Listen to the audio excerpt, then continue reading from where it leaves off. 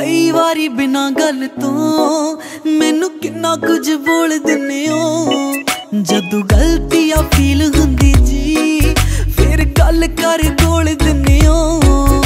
ਮੈਂ ਪਿਆਰ ਨਾ ਪਕਾਵਾਂ, ਪਿਆਰ ਨਾ ਪਕਾਵਾਂ ਅਰ ਨਾ ਪਕਾਵਾਂ, ਰੋਟੀ ਖਾ ਜੀ ਆਖਰੋ ਓ ਹਬੀਬ ਜੀ, ਤੁਸੀਂ ਟਾਈਮ ਨਾਲ ਰਾਤੀ ਕਰੇ ਆ ਜਿਆ